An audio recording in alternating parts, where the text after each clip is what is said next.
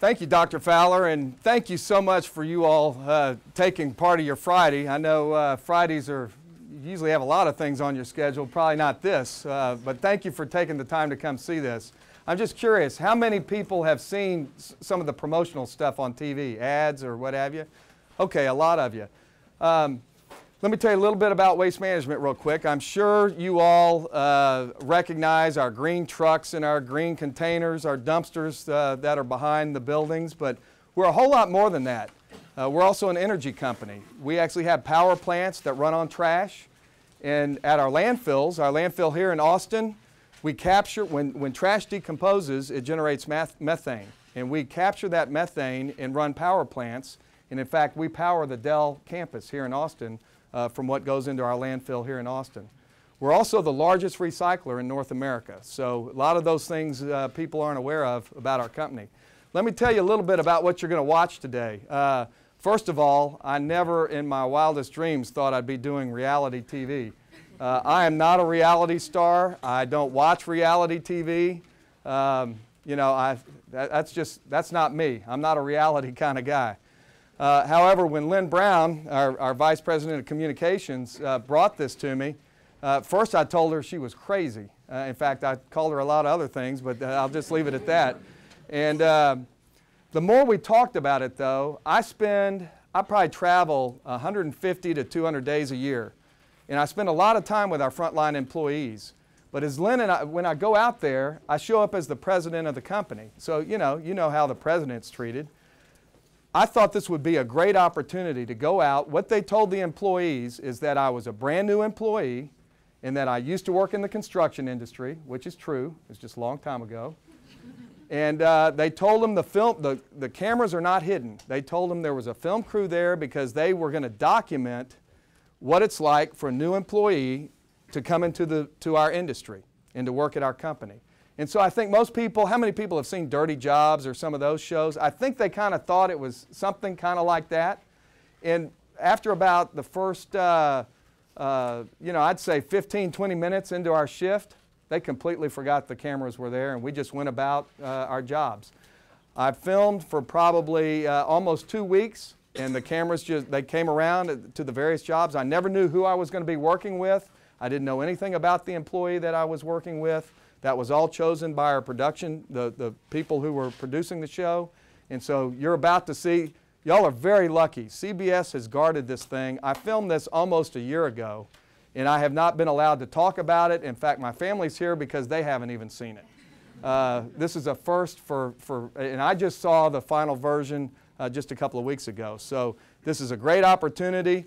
Uh, afterwards, I'm going to take questions and uh, do a little Q&A if you have any questions.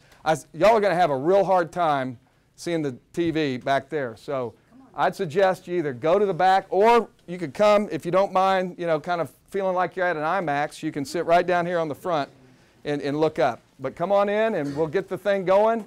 And uh, I hope you enjoy it. Uh, so let's see what happens. Undercover Boss. Well, Larry has graciously uh, agreed to have a Q&A, so if you have questions, uh, he'll answer them for you. So, Thank you very much, you Dr. You want to say anything about, uh, just give me your, your kind of your overall impression now that you've seen the movie, because this is the first time you'd seen it, right? I've actually, I saw it just recently. I was out in Los Angeles for something they call the Television Critics Association, so they had a closed uh, uh, session where all the critics, the people who write critical stuff about television shows were all out there uh, and they showed it to them, and then I was on stage for a half an hour and kind of got grilled by them, so that was a real experience. Uh, but that was the first time I'd, I'd seen the whole uh, final version, and of course, uh, my family, that's the first time they've ever seen it, so I was delighted that they could join. Uh, you know, some of the takeaways, uh, you know, for me, one of the reasons I did this was I truly wanted to better understand what our frontline employees deal with every day. And I also wanted our our customers to have a better appreciation of just what tough jobs they do. And I wanted them to be as proud as I am of them, uh, you know, and hopefully get a little better understanding of, what, of what waste management does. I hope you all have a better understanding as you sit here today. You know, I know uh, we try to hire people. We've got our recruiters here today. We try to hire people out of, out of colleges and universities. And, you know, Going to a trash company, which is the first thing you think of probably when you think of waste management, that, I know that we're probably not your number one choice up there on the top of your list. But hopefully, after you see what we do and the type of company that we are, uh, I hope many of you will. Uh, in fact, we've got some people who are out there right now who went through our intern program and who are working for us today. Uh, so I hope that you'll look at us a little bit differently. You know, from a personal perspective, you know, certainly you heard some of the things that I'm trying to change uh, at the company now. Uh, we, anytime we're getting ready to implement a new uh, uh, uh, initiative or something that I know is going to impact our frontline employees, we put somebody from the front line on that team to help us design it. So I'd rather learn about the problems at the beginning rather than waiting until the end, you know, to hear about some of the unintended consequences and some of the frustration that we've created. But from a personal level, uh, for me, you know, I went through that and I just, uh, I, I really reflected upon how truly blessed I am. I mean, got a wonderful family and great place to work and great friends uh, who have joined me today and just great employees. Uh, every place I went, those employees, while there were some things, look, everybody has a job and, and there's something in your job that you'd like better, and that's what I wanted to discover. But the way they went about it, you know, they were as proud of that company as I was, and they wanted me to succeed in my job, my new job, and, and, and, and be part of their team. And that was really touching to me. So uh, now I, have been up here uh, dancing for a few minutes. Hopefully you've thought of a few questions. Anything come to your mind that you'd like to talk to me about, either about the show or about the company? Now y'all are bright people. I know you got some thoughts. Right here.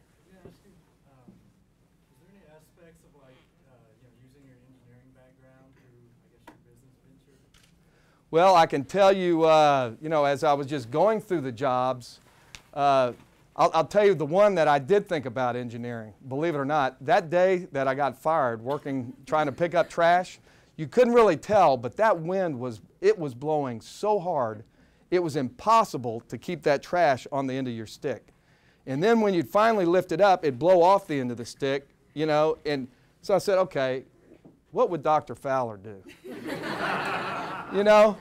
You're, you're walking across, so I finally got smart and I figured out if I walk into the wind, I can keep the trash on the end of the stick because the wind's blowing it onto the stick. And then when I, and it'll keep the bag open. And then when I lift it up, it'll blow into the bag. So, uh, you know, I don't know if, I don't know what engineering class I learned those principles in, but uh, that certainly helped me. There's another one back here.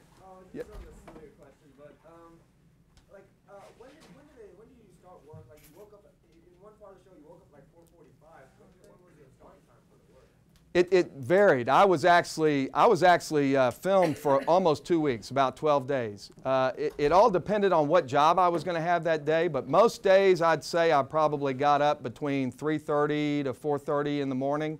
Uh, that's, you know, a lot of these jobs, they're tough jobs because, uh, you know, we start early. Uh, we like to get out there before there's a lot of traffic on the streets. Uh, and so some of those days, in fact, when I would finish that shift, I'd go work an afternoon uh, job uh, after I finished that shift. There are a lot of jobs that, you know, they sort of chose what they wanted to, to put in the final show, but I worked in a call center, uh, handled irate customer calls. They were actually screening the worst ones uh, for me to deal with. That was, that was pretty fun.